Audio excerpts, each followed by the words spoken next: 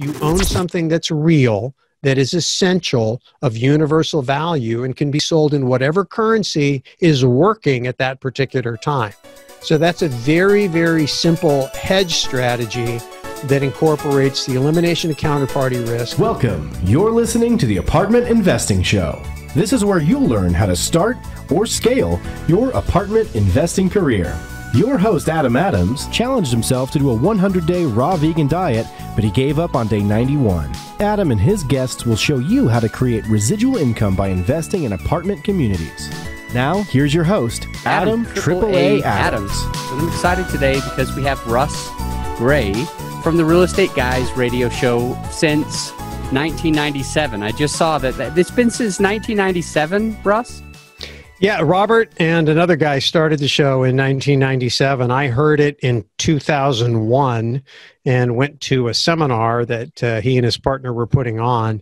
And that's where I first met Robert. And shortly thereafter, I started speaking at his seminars. We began doing some cooperative marketing. I had a mortgage company back then. He was in the brokerage business. And uh, the original co founder of the show inexplicably quit in uh, the summer of 2004 I became the de facto temporary co host, and I've been the temporary co host since uh, June of 2004. That is interesting. I like that. I'm really excited because I know you guys are really crushing it. Everything that you've you've been doing, you've been putting out tons of content, helping a lot of people, and it's an honor to have you on the show. So thank you. I really appreciate it. Thanks for um, having me. Happy in, to be here. In 2004, you became the co-host of the show, and you and Robert and maybe another partner, I think you were doing a ton of things. So you had a lot going on, and in, in 2008, something happened.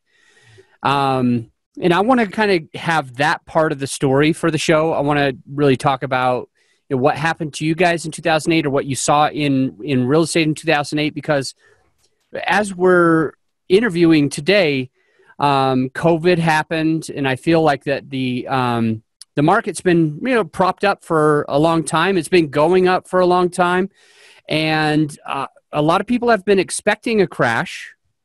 However, there's some really smart people that say COVID's not a big deal. It's going to be a V curve. It's going to be over in a little bit. Um, but I'm a little bit more skeptical. And so I'd like to have you on the show and just kind of get some of your thoughts, add some context to what's going on. So just dive into I guess your story, the history, what what was going on through them from you know 2002, 2004, 2008, and yeah, what do you think might be happening now?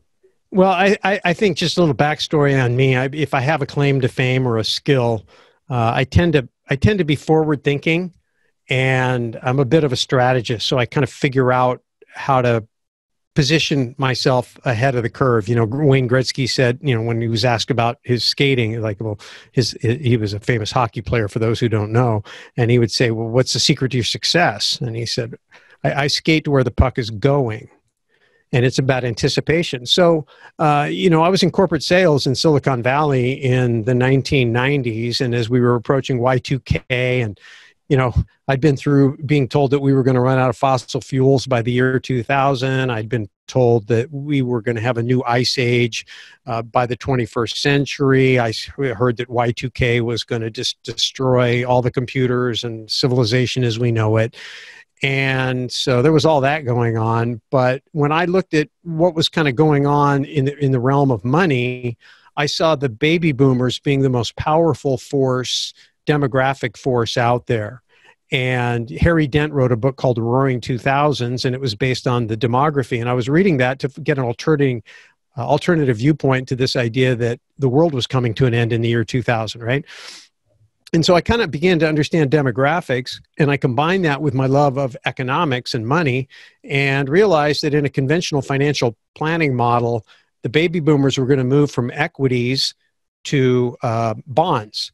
And as they moved over to bonds, uh, they would bid up the price of bonds through demand, and that meant interest rates would come down. And if you looked at the interest rates from the time that uh, Paul Volcker, then chairman of the Fed, kind of broke the back of inflation post the uh, 1970s default on the gold standard uh, and the dollar collapsing the first time, um, you know, we had interest rates. Prime rate was 21%. My very first rental property, my interest rate was only 13% So, you know, interest rates had been falling. So I said, okay, there's going to be a lot of uh, money coming into bonds, a lot of money to lend. There's going to be lower interest rates. Equity is going to happen, which is ultimately what we ended up naming our book.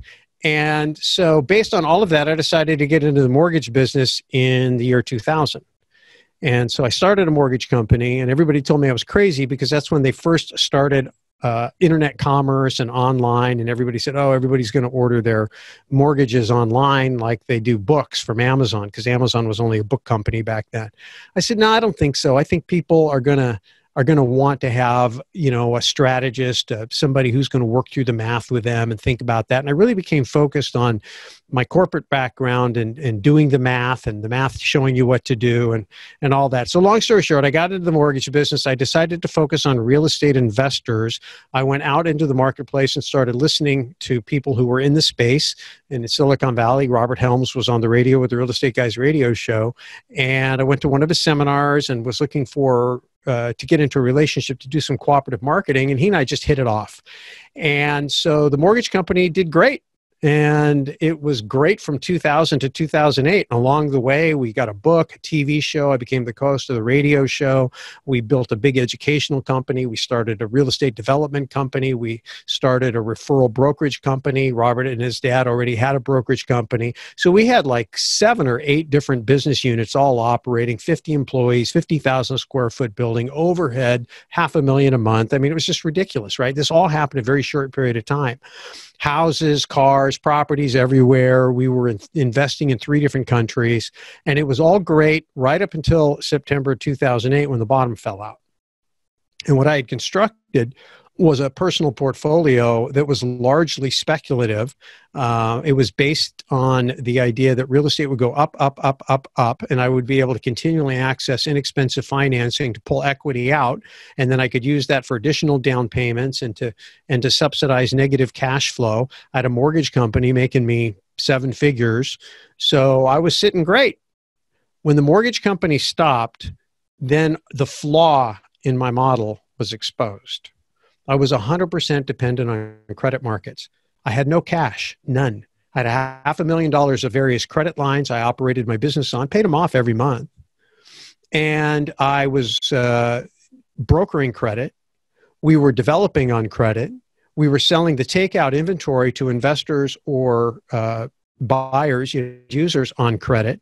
And when credit died, everything died. And now my negative cash flow is this giant millstone around my neck with no credit in the market. All the air came out of the prices because a lot of the equity you have in real estate is based on the uh, ready availability of financing. That's that's the bubble part of it. And when it goes away, so does that equity. Now you're upside down, which is fine if you can handle the cash flow, but I couldn't. So everything unraveled very very quickly. And so I sat there at the end of that and I thought to myself, you know what? I, am a hard worker. I, I'm, I'm maybe not the sharpest guy in the world, but I'm not the, the dullest tool. I clearly have not been paying attention to something I should have been paying attention to. So Robert and I went on a quest. We wanted to figure out, well, who knew? How did they know? And how can we learn from them? And that's where we, uh, we found Peter Schiff. And Peter had written a book in uh, 2004 or 5 called Crash Proof he re-released it in 2008 crash proof 2.0 or 2009 because he basically did a post-mortem on what he said would happen. He accurately called it for the right reason. And then he wrote a follow-up book which happens to be on my shelf behind me here because we interviewed peter yesterday for our crisis investing webinar that we're working on uh, which is basically that the real crash the big crash was going to be the byproduct of what the federal reserve and uh, policymakers did in response to the 2008 crisis well, that, that day's now here. So in the last 10 years, I went from being a myopic estate investor with my nose against the grindstone, doing deals and worried about loan applications and optimizing equity. And I still, you know, still do all those things. But I started really realizing that all my real estate investments, even my businesses, were floating in an economic ecosystem on an ocean and underneath were currents and waves and forces that i couldn't see and barely understood. Above me were winds and storm clouds and things off on the horizon that i, I couldn't see until i got closer. And so the, the metaphor or is it an analogy? I always get those two confused. Anyway, and so I spent the last 10 years just reading tons of books and w- using our Investor Summit at Sea and the Real Estate Guys radio show as a way to get into as many relationships as I could with high level people, people like you know Richard Duncan, who wrote The Dollar Crisis back in 2002 or three or whatever, and Robert Kiyosaki and Daniel DiMartino Booth and Chris Martenson and people who weren't really mainstream real estate people, but they had you know background in in, in the Federal Reserve or they understood the uh, economics and they were PhD brainiacs. They didn't know anything about real estate investing, so we ended up having kind of this cool relationship. Uh, but through all of that, then I began to realize that that you better be paying attention. I don't know if, if you're old enough, uh, Adam, to remember, but when I was a little kid, they had this game called Mousetrap. Remember the game called Mousetrap? Yeah. And, and so, you know, unlike these video games and stuff, this was like a physical thing. It was a board game. You constructed it, and it had this whole elaborate mac- mechanism where you start a marble, it goes down this chute, it hits this lever that has a boot, and it hits another thing, and a bucket tips over, and all. Any at the end of it, the little trap comes down and captures the mouse.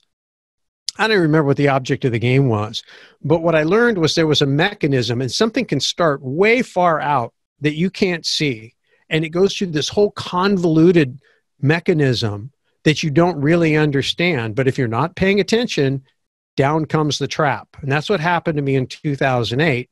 And so I left with a mission. I was a lot less concerned with how much money I could make and how fast I could make it. I became much more concerned with how to preserve what I had, to grow what I had past inflation, and to make sure that I had built a resilient portfolio, not just a a, a, fat portfolio because on paper in 2008 I was a multimillionaire, but in reality I was poor and I didn't know it because I didn't have any passive income. It was all equity. And when the equity went away, I had nothing except negative cash flow. And then I became, I realized I was poor. And that's where I doubled down on my fandom of Robert Kiyosaki, really began to appreciate his cash flow message and I understand now the relationship between cash flow and equity and how to use cash flow to create equity, how to har- use cash flow to harvest equity and reposition equity. So the stuff we wrote about in our book still makes sense.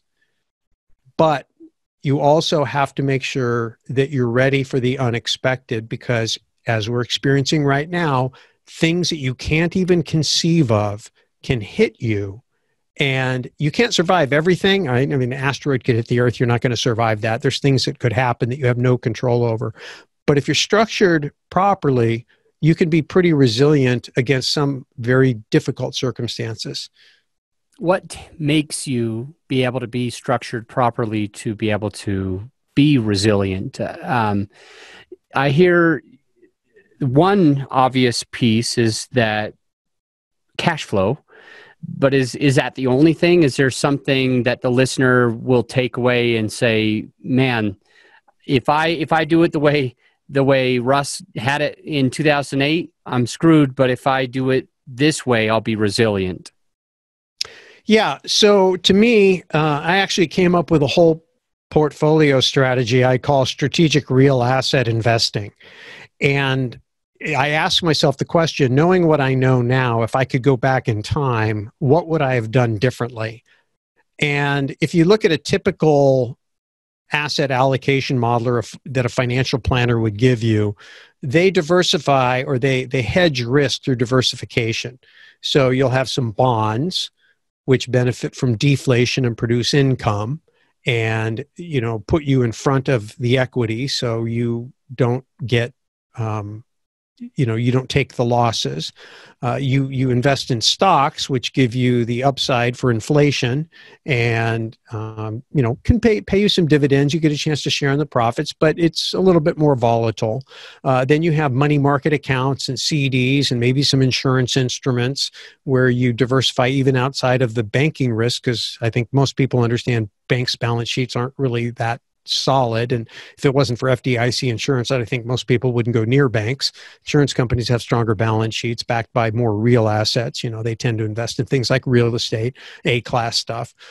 So, um, but the problem is it doesn't take into account counterparty risk doesn't take into account things like personal guarantees, which, you know, if you're in real estate investing, you get asked to sign those all the time. So uh, it completely leaves out anything that looks like an entity or asset protection plan that allows you to sign personal guarantees without putting any personal assets at risk. You only have as much on your balance sheet as it takes to be able to get the deal done. Um, the other thing I didn't understand at all was currency risk. One thing that I realized is that, especially Americans, they only know the world with the US dollar as the world's reserve currency. They only earn, denominate uh, their net worth and do business in the dollar. They don't have any plan B. And if the dollar were to go bad, and I think there's reasons to think it could, uh, especially with what's going on, uh, and especially if a other alternative shows up on the market, and there's been 10 years of a major power, a uh, couple of major powers collaborating to undermine the dollar at some point. If they pull that trigger, if they're in position, uh, that could be the other black swan, although it's not as black as COVID 19 because nobody saw COVID 19 coming. But at least, you know, with a currency collapse, I think a lot of people who've been paying attention are, are concerned about it.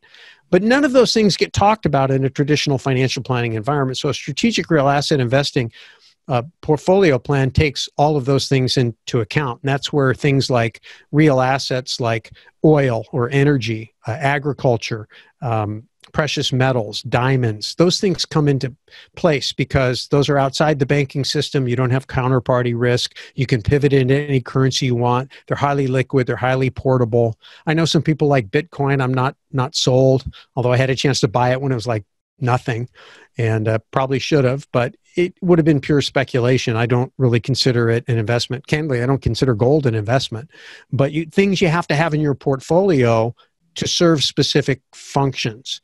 And then once you get past that foundation, which is a very, very important foundation, your entity structure and, you know, assets outside the system and firewalls between the more speculative things you do on the outer rings of risk, each ring being insulated. So the inner ring is very, very secure. Next ring out is a little riskier and you keep going out, but you, you don't you don't have everything organized so a personal guarantee takes you all the way from the outer ring of risk all the way to center. That's what happened to me. So once you've got that foundation in place yeah then then you look at things like uh, positive cash flow which of course if you're an apartment investor that's fairly easy because the lender is going to require it. When you're out there, you know, a lot of people starting in real estate start with single family homes, and it's easy to get over levered in single family homes because there's a, a, lot of cheap loans, high LTVs. You can subsidize the negative cash flow on the property with your personal income. And one day you wake up and you've got five, six, seven, eight homes that are all negative equity, negative cash flow, and the burden is 100% upon you and your paycheck or your business. And even if you're like I was, and you had a pretty healthy business and a fairly diversified business, you can still get wiped out pretty quickly. So making sure you have good, solid, positive cash flow, and and, and I think apartment investing insulates you from that because the lender's going to require it. Uh, picking great markets and not just looking at the deal, but making sure you understand the market and having a great team because you know, I'm sure you know, that a great property in a great market with a crappy team is going to be a crappy investment. Very whereas whereas a moderate market, a moderate property uh, deal it, it, with a great team can actually perform.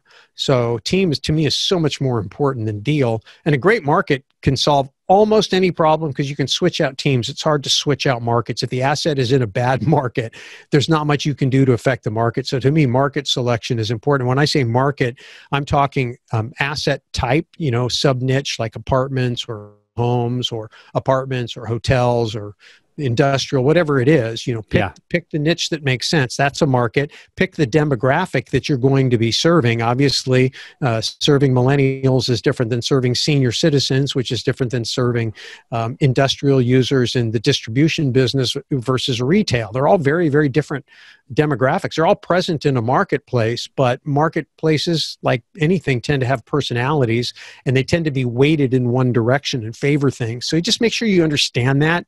And then, you know, once you have a great market, then then the other big part is is is making sure your financing makes sense. I see people, you know, use HELOCs, for example, to borrow short to invest long. Big mistake. You should do it the other way around. You should borrow long to invest short So lots of little things that I was doing wrong that are easily fixed once you're aware, but until you're aware are virtually invisible. And you know when you when you're new in real estate investing sadly you start with single family homes which i think is one of the most dangerous places for a novice to play because you don't have the benefit of commercial lenders looking over your shoulder to make sure you don't step in something really bad where do you feel the market is right now speaking of covid and things like that where do you feel the market is right now and what should we be looking for well, again, the market's a big topic. That's demography, that's product niche, and that's geography. So, you know, but in general, the financial system, here's the way I look at it there's the economy and there's the financial system. a lot of people can't figure the two out. I, I explain it this way if you're driving down the uh, road to riches, uh, and you're on your way to you know your big dreams pot of gold at the end of this this road you're on.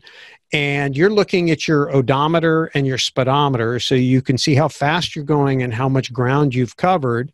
You can feel like you're making great progress if if you know the, the miles are ticking by and you you know you've got good speed on your speedometer.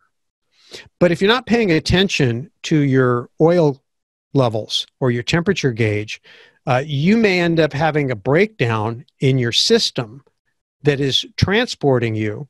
Your, your vehicle systems could be breaking down and, and you don't see it. And by the time you see it, it's because your, your economy or your engine is broken down. And, and so people you know can hear about how great the economy is and how things are booming just like how great my cash flow or how great my balance sheet was and how much money i had.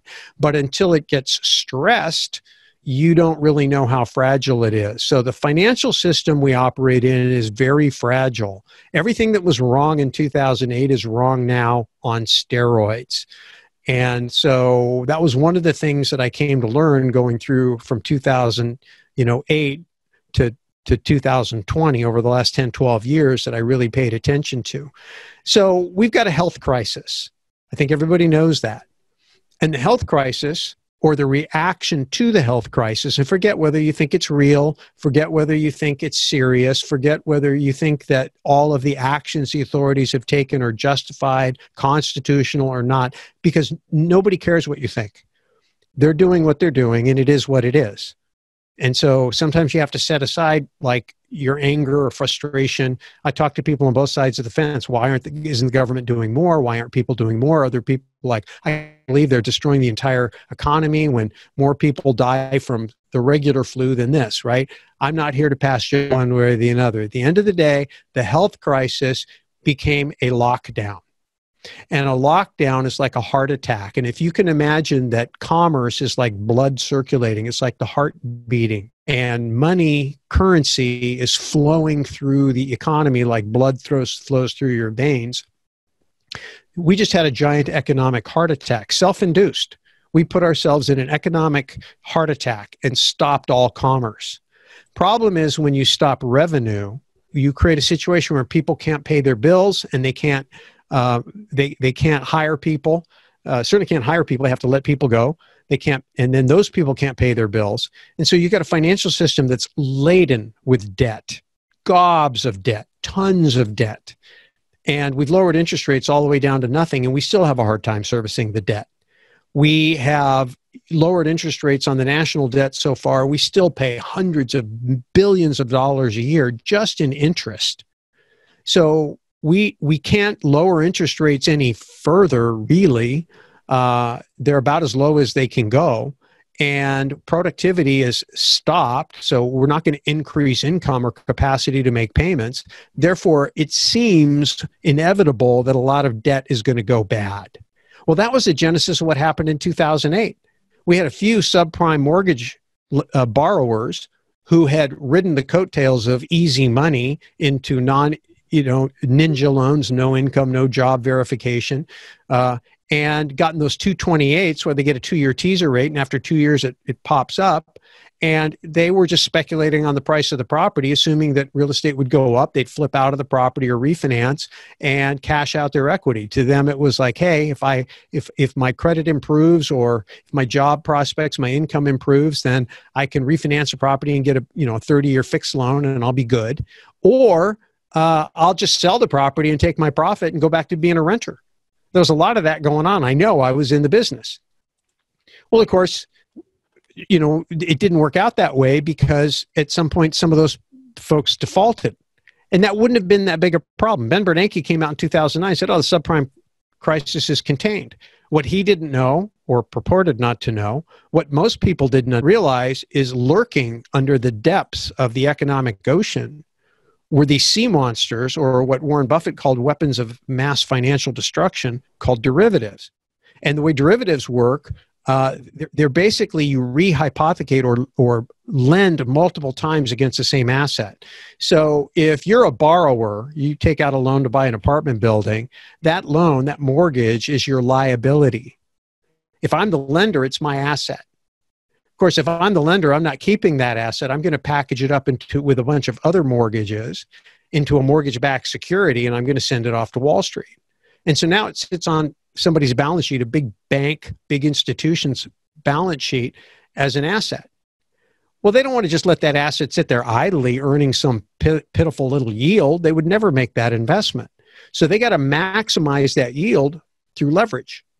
It's the same thing we do with real estate, right? If I can get a five to one leverage by putting 20% down on property and that property moves only 5%, at five to one, I get a 25% pop on my equity. My equity growth rate is 25% because I get I get four pieces of the equity or the appreciation from the the the part secured by the loan, and I get the 20%. I get the equity on my my one fifth, right? So that's kind of the way it works. If you do the math on it, you know it'll it'll check out. So anyway so that's the way wall street works. So wall street would take that asset that they have on their balance sheet and they would pledge it now as collateral. And they would borrow against it to get more cash. And then they would make more of these types of loans or they would go out and they would they would do it again. And so the short of it is is that you had all of these mortgage backed securities levered through derivatives multiple times. So a 1 or 2% spread could turn into a 20, 30, 40, 50, 100% gain. The problem is, as you know, leverage is a two edged sword. And so when the bonds started going bad or going down in value because of the subprime mortgage borrowers were defaulting at a higher rate than had been projected because they were all stamped AAA. I noticed you named yourself AAA too, by the way. That's catchy. So now these these assets went down in value.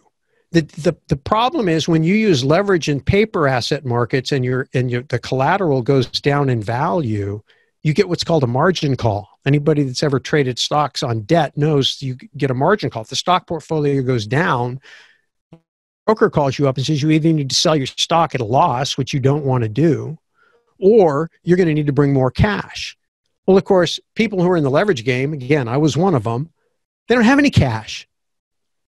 They use nothing but credit. They rely upon healthy credit markets. And when credit markets start to fall apart, what happened to me happens to these big giant institutions. That's how Lehman Brothers, Bear Stearns, that's how all these companies went down after hundreds and hundreds of years in business because nobody understood how levered the system was.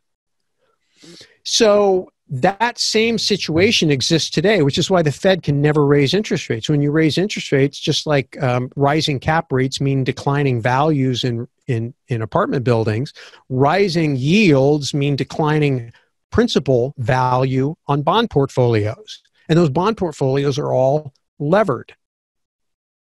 And so that that's the catch 22 that that the system is in right now. Very very fragile. Now, it's all being held together by people making their payments. When you stop the entire economy, people can't make their payments. That debt is going to go bad. The difference between 2008 and today is the Fed and the government, and they're separate, by the way. The Federal Reserve is not part of the government, it's a private institution. If you're not clear on that, read The Creature from Jekyll Island by G. Edward Griffin. And then the, the federal government which is you know uh, the Congress and and uh, and the administration. So you've got fiscal policy, which is the government spending money hand over fist to get money into circulation. And then you've got monetary policy, which is the Fed lowering interest rates all the way to zero, didn't hesitate to do it. Boom, boom, boom. Didn't even wait for a regular meeting, just take it all the way to zero as quick as we can. And then print as much money as the government can possibly spend and more. And by the way, we don't even have time for it to go through any trickle down. We're just going to inject it mainline directly into people's bank accounts, which was a joke that Milton Friedman made way back when, when he joked about helicopter money. That was never a serious policy, it was a joke. And yet, that's exactly what we're doing today. Why are they so desperate to do that? Because they know this financial system will derail if those payments. Hertz just went broke, right? Hertz wasn't in trouble. Yeah, Penney, Sears, those companies, they were in trouble before. Retail was in trouble, but not Hertz. Hertz, 102 year old company, broke. You know, they said no business was designed to sustain zero revenue. Well, if no business is, what state or nation is? None. So the question is we've just had this massive heart attack. Is all of this money printing going to fix it? Have we bought enough time to get this thing kickstarted? Or have we been flatlining so long, going back to the body analogy, that, that we've now got permanent organ damage, permanent brain damage? Are these jobs really going to come back? Are we going to get 40 million jobs in the next four months? That's what we lost. Is that what we're going to get? Are we going to come back? Is that V shape? Are we just going to go boom, boom? I don't think so. I don't think so because people's behavior has changed. Well, let's go back to real estate because this is about real estate. If, if you're a commercial, uh, if you're a business and you've been running an office for all these years and you have had a paradigm that you had to have your people all under a roof working together, collaborating, and now you've been forced by government edict to run your businesses with a remote workforce and you had a paradigm shift and you went, hey, you know what? This actually works. We figured this out. I don't need to pay rent. And people say, hey, you know what? I don't need to commute into the office. I don't need to live in this expensive real estate near the office. I can go move someplace less expensive where they don't tax me so much. I think some people have figured that out. There's some people that said, I, oh, I'll never shop online. I like to go to the mall. Well, guess what? They had to learn how to shop online. Do you think they're all of a sudden going to go back? I don't know. I think that people may have changed permanently. We'll find out. And then nobody really knows how deep the financial problem is going to be. So it goes from health crisis to economic crisis where payments and cash flow stops to financial system crisis where credit markets and banks are in trouble because these bankruptcies are going to land on somebody. I mean, somebody's writing off a whole lot of debt. And then if the Fed decides that nobody's going to take the hit and they're going to suck it all up, they're going to have to print trillions of dollars. Their balance sheet is, and for those of you who don't know, the Fed's balance sheet is basically an indicator of how much money they've conjured out of thin air. So in 2007, 2008, it was 800 billion. At the end of like 2011 or 12, it was 4.5 trillion. That's what it took to get us out of 2008. They started the taper and brought it down to like 3.7 trillion, and the economy was already starting to sputter. And so they reduced course, dropped interest rates, stopped tapering, started easing again. And that was all before COVID. Then COVID came and they just topped 7 trillion. They're just over 7 trillion. So they've nearly doubled from 3.7 to over 7 in four months.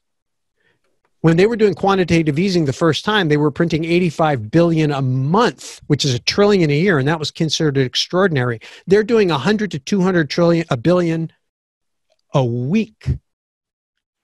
Right? That's ridiculous. So all that pressure now goes to the dollar. So health crisis to economic crisis to financial system crisis to dollar crisis.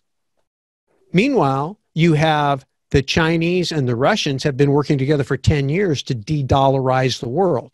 And if the US dollar stops being the world's reserve currency, are Americans ready for that? Uh, most of them don't even know what that means, much less are ready. They're not hedged for it in any way, shape, or form. So that's the big thing that people don't understand. The rest of the world knows how to get along outside the dollar because they do. They use the dollar the way Americans use gold as just a place to park money that isn't their own currency. But Americans earn, de- denominate, do everything in dollars in any other way. And if the dollar essentially changes like it did in 1971, that's where we got, you know, high interest rate. We were a creditor nation. We had a strong manufacturing base, and we could we were able to absorb that hit. Today, we're in a much weaker position. We're the largest debtor nation. We already have interest rates at zero. Can you imagine if they had to jack interest rates up to 20% to save the dollar? So yeah, I don't know what the answer is, but these are all the things that are on my mind and the things we're talking to people about. And I'm not trying to be doom and gloom because I do believe on the flip side of every opportunity or every crisis is opportunity. Uh, there's going to be a lot of distressed assets. There's going to be a lot of opportunities to fix problems for people, clean up messes. Um, but you got to be positioned. I think you know having your current portfolio structured well with solid cash flows and good markets and good teams. Anything on the margin, I would jettison. I would definitely be locking in long term financing on properties that you want to keep. I'd be liquidating as much equity as you can get your hands on because the amount of interest you have to spend to carry that is an insurance premium if you have to pay it. And you probably could arbitrage a little bit, meaning you can borrow cheap and lend for more. And uh, that probably is going to end up becoming even easier to do as credit markets start to tighten up. There's going to be a bigger market for private debt. So if you have access, if you can borrow money at three or four or five percent and loan it out at seven, eight, nine, ten percent, that's a good, safe, conservative cash flow, especially if it's collateralized by assets you'd be happy to take in a foreclosure, 20, 30, 40% protective equity. And I think there's going to be a lot of those opportunities. So it's not doom and gloom, but there's a lot to think about for sure. Last question. It can be it can be fairly short if the answer is short. Before we get into the final five, you probably uh, figured out I don't do short, but I'll try. where where do we park the equity? And and I mean this because I've I'm going back and forth with coaching clients and trying to trying to support at the best level possible. And it's really difficult right now to understand because in many ways it feels right to to get the equity out of things to to sell things and to and to park cash uh, actual dollars us dollar. Um, and then on the flip side at the exact same time it feels like if the dollar does lose value then everything else increases eh, faux increases in value, or it seems to increase in value uh, as the dollar loses. Um, so the question would be should we be putting more money into something like gold where it'll preserve the rate? Should we leave it in real estate where um, where if the dollar loses value, the real estate tends to go up or it seemingly goes up? Or should we actually get that cash and see what we can do with it. What are your thoughts?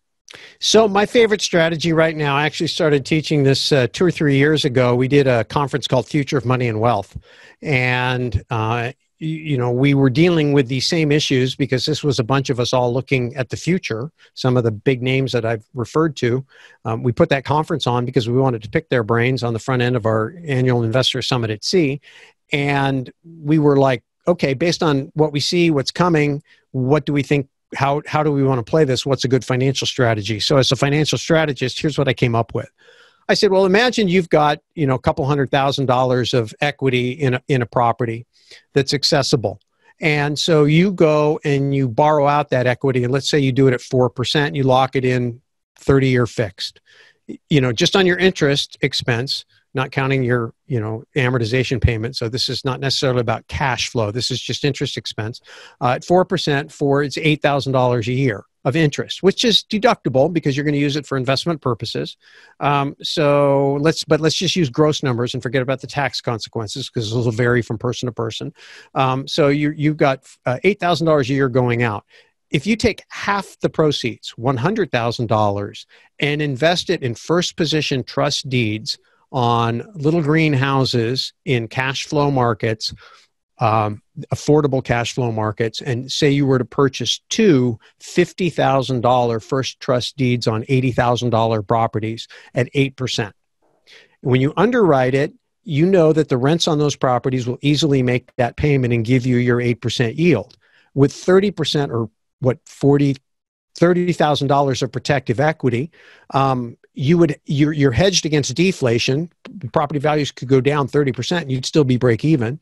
If you foreclosed, you would happily take the cash flow because presumably there's enough meat on that cash flow bond or uh, uh, cash flow to to provide you uh, the yield on your debt and also provide the uh, investor or the owner occupant, you know, but let's say investor, a profit for operations and whatnot. So the, the, the point is, is that it's, it's relatively safe. Now you're hedged against deflation. You also own an asset that would benefit from, or you have potential to own an asset that would benefit from inflation. So if you get deflation first and then inflation, that's fine, right? But most importantly, I've got $100,000 invested at 8%, which is generating $8,000 a year of interest income against my $8,000 a year of interest expense. So I'm break even on the cash flow, but I only had to use 100,000 out of the $200,000 of proceeds. So I got 100,000 free and clear. Now I could take that $100,000 free and clear and I may split that into two $50,000 slices. Oh, by the way, on the two $50,000 loans, you've diversified your streams of income, two different collateral. You could even go two different markets if you wanted to, uh, two different borrowers. And so, you know, could they both go bad? Yeah, but there's a possibility only one would go bad and you'd only have to deal with one at a time. And the other thing is, two, marketplaces that affordable are probably going to be the recipient of migration as people who are moving from more affor- expensive places move to more affordable places if we do have tough economic times. So I like affordable housing both as a lender and as an investor. Okay. Now I got this other 100,000. I split, I take 50,000, I buy gold, I stick it in my safe. What have I got? No counterparty risk, no currency risk, I, I and I'm hedged against inflation. If the dollar lapses, I got fifty thousand dollars. That could easily quadruple, and now that pays off my old debt I, I own as a free and clear asset, right? And possible that gold could quadruple. Sure, I mean the last time the dollar collapsed, it went from thirty-five to eight fifty. From two thousand whatever, it went from two fifty to seventeen hundred. Bank of America just came out a couple weeks ago. They they upped their uh, their target for gold from 2000 to 3000 a 50% increase. And the title of the report was the fed can't print gold bank of america. All right? So then you take the other 50000 and you might put it in real estate but i would put it in real estate that is geographically insulated. So i like agriculture. The reason i like agriculture for two reasons especially offshore agriculture is one is it's offshore which means that it's hard for people to get their hands on it uh, in, in, in case there's litigation, lawsuit, debt collections, whatever. Number two is there's no debt, which means there's a lot less air. Just going back to 2008, for those of you that were around, uh, Texas had and still has some rules about cash out refinances and loan to value. So there was less air in Texas real estate than there was, say, in California, Florida, or Arizona real estate. And so when the air came out, California, Arizona, and Florida prices fell precipitously, whereas Texas fell a little bit. That's the difference between when there's a lot of air or a little bit of air. If you go into a, a, a, marketplace, any real estate where there's no air, there's no financing available in that market, if financing comes, you're going to get a big boost in the arm, right? You're going to get a big equity pop because all of a sudden all that purchasing power is going to come in. If it never comes and then lending goes away, you don't have as far to fall. But the other thing that's great about agriculture is you don't have to get the geography right. You got to get the commodity right. It doesn't matter where the hungry mouths are. As long as the produce can be grown and shipped to wherever those hungry mouths are, whether it's China, India, Russia, EU, or the United States of America, it doesn't matter. You own something that's real, that is essential, of universal value, and can be sold in whatever currency is working at that particular time. So that's a very, very simple hedge strategy that incorporates the elimination of counterparty risk, hedging against inflation, hedging against deflation, being short the dollar in both gold and debt, and then also benefiting from inflation on the real estate side of things and getting a little bit of asset protection diversification. Not that complicated. When someone explains it to you, took a little while to kind of think it all through, but it's one of my favorite things in this current environment. Awesome. We're going to take a quick break and we'll be right back with the final five. What's Blue Spruce Boardroom? It's Adam Adams' private inner circle program that helps serious investors take their businesses to the next level with 24 7 access to our private Facebook community, exclusive mastermind retreats held at luxurious resorts around the country, bi weekly coaching calls, education, support, and monthly meetings. This is the full immersion you need in order to get from where you are to where you want to be in your real estate business. When you join Blue Spruce Boardroom, you'll become close with Adam and the other members of this exclusive inner circle. You'll meet accredited investors, deal sponsors, high net worth key principals, as well as real estate influencers. The perfect combination for you to take your business to the next level. Apply today by following the link in the show notes. And we're back with the Russell Gray. And Russ, what's the most creative deal you've ever done? Well, trying to give you a short answer. Uh, I don't know. There's three, so I'm not going to say maybe it was the most creative, but it was my favorite. Uh, I took fifty thousand dollars out on a, a, cash out refinance, one of my favorite techniques of a property in California, where I got a tax deduction for doing that, and then I bought in a one tenth share in a five hundred thousand dollar uh, resort property condominium on the beach in Mexico, and then for that $50,000 share, I got three weeks a year of use, which was worth about $2,000 a week. Uh, so it was like a free vacation. I got one tenth of the income for the times that it wasn't being used by the owners, which was about $2,000 a year. And so when you took the income and the tax deduction and combined it with the debt, I basically got the condo for free and uh, ended up diversifying my equity out of California into Mexico where there was no debt. So that was kind of a fun little deal. What book do you recommend? Um, depends on what you're trying to learn. Uh, I, you know, I, I, I would say one of the books that I probably end up quoting the most that isn't a book that a lot of people talk about anymore, but I still think is a great book is Good to Great by Jim Collins. I think it's a great way to figure out your investment philosophy, even though it's about business. It's a way to think about the role of culture and some of the basic principles of what greatness is. If you treat your real estate investing like a business, then you probably would rather be great than good. And Jim Collins' epic work, Good to Great, is a, is a classic you'll get a lot of value out of. Where do you see yourself in five years? Uh, grinding. I love it. I, am on a mission. Uh, you know, our mission is education for effective action. My personal mission is to empower individual freedom through financial education for effective action. Um, I've got kids and grandkids that are inheriting a world that has a lot of issues.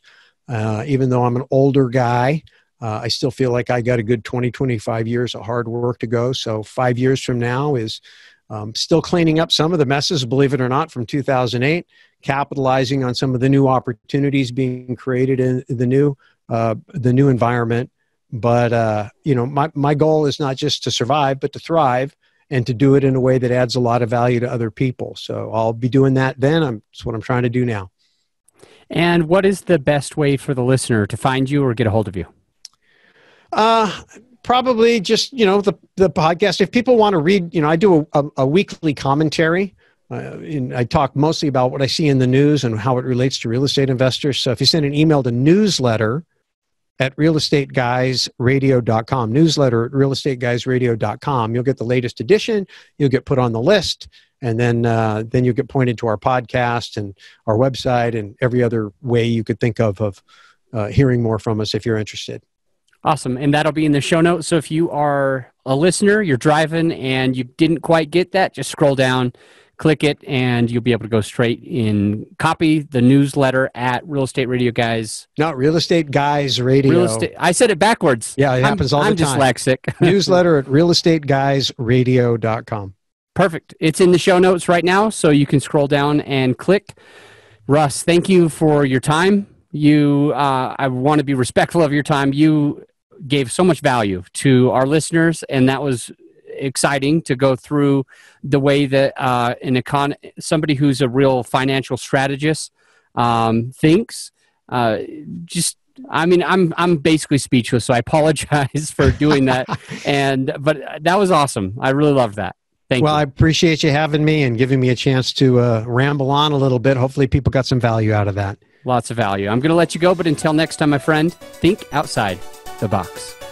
As a reminder, any investment opportunities mentioned on this show are for accredited investors only. And if you're interested in working with me and my team, then go to realbluespruce.com and click get on the list. It's that simple. Just click get on the list to start passively investing.